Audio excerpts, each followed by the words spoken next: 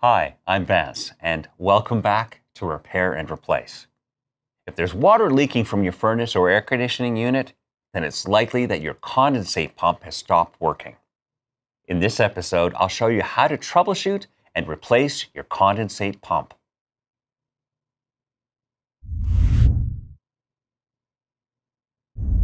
Condenser furnaces and air conditioning units both produce water as a byproduct. High efficiency furnaces condense water vapor to extract additional heat from the air. Air conditioners not only cool the air in your home, they also remove moisture. This excess water is best removed by gravity through a floor drain.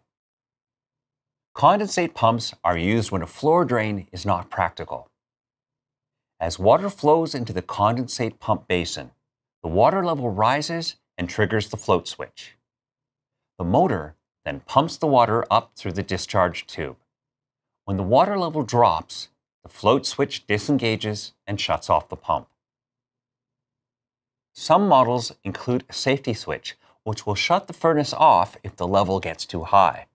Now, this can be useful in the case of a pump failure, as the water can quickly add up. A condenser furnace can produce up to 20 liters of water a day, while an air conditioner on a humid day can produce up to 40 liters of water.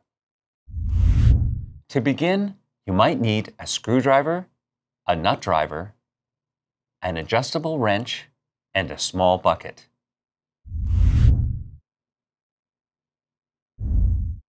First, clean up the water around the pump. Fill the reservoir with a little bit of water and see if the motor starts running.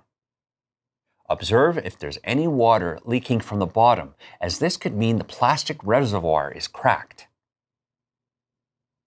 If the motor runs, but the water level doesn't drop, then the check valve might be plugged.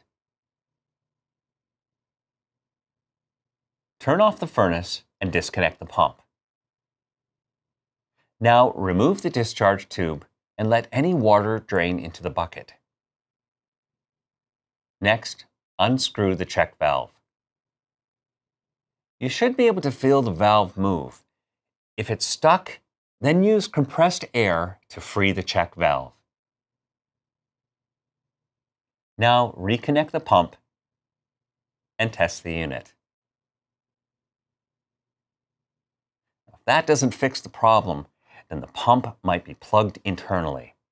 In this case, it's best to get a new pump. If the reservoir is full and the pump doesn't run, then first check a few things. Turn off the furnace and disconnect the pump. It's now safe to remove the cover.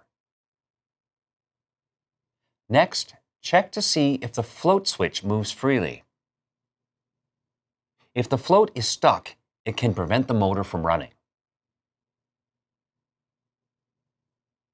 Now reconnect the pump and test the unit. If the motor still doesn't run, then it's best to replace the condensate pump.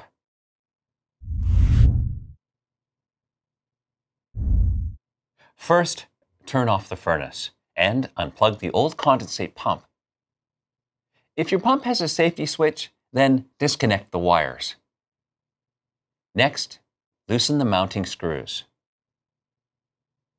Now, disconnect the discharge tube and let any water drain into the bucket.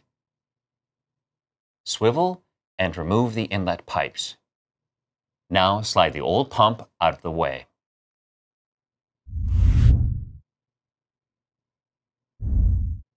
In some models, you might need to install a mounting bracket.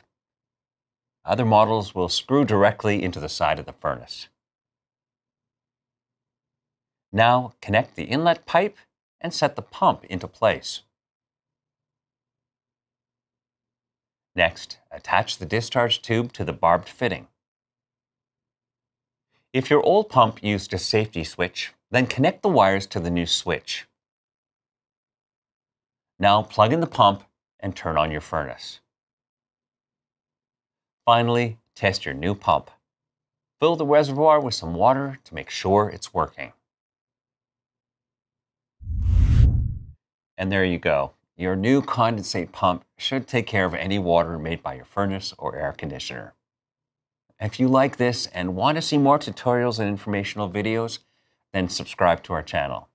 And if you need help, you can call or visit an AMRE location to talk with our knowledgeable staff. Thanks for watching.